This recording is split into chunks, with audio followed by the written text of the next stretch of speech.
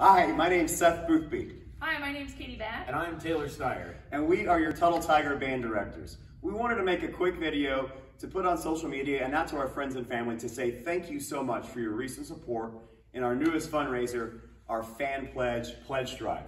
We started it just this week, and although it's been already a great success, we're still a little bit short of our goal. So if you have any uh, space in your heart to support these kiddos or can donate funds to help this band program, please check out the link below, uh, the very first thing in the comments about our Fan Pledge fundraiser.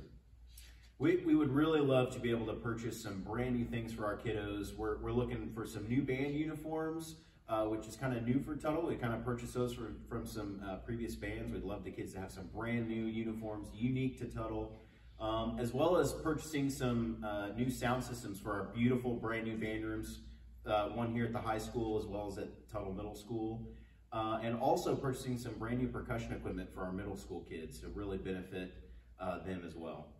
Not only can you show your support through donations on our fan pledge, but you can also show your support by coming out and uh, checking out these kids in their competitions throughout the next few months at both marching and concert.